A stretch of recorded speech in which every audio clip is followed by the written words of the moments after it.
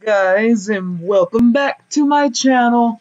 Uh, before I get started, this is a background character that I had have for uh, a minute now, and I've had it ever since uh, two years ago, back when um, I was just now using a friend of mine's account. So this was well back at the, around the same time I created my guild. So about a year or so ago, or probably even two years ago.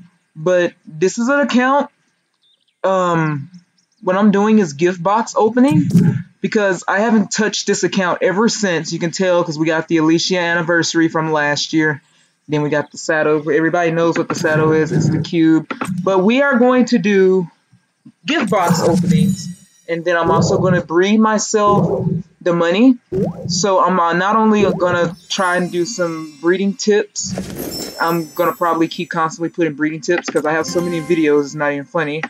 So you guys can uh, follow along on this account since it's a new starting out.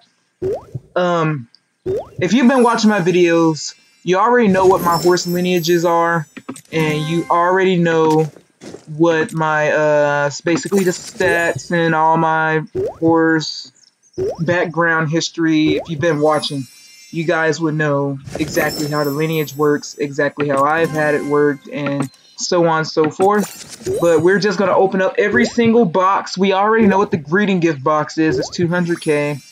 I'm hoping to get at least maybe like half a mil on this thing. 500k or just 400k.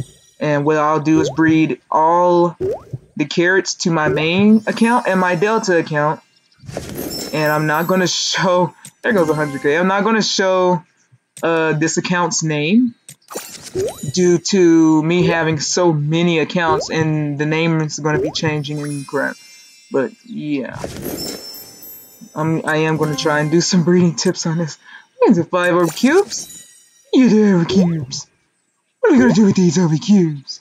But yeah, we're just opening these gift boxes you can tell we already got like 136k. We already got some gems. We almost got enough to open a slot. Uh, and also the Christmas gift box is going to come out. So I also have a breeding video on that one.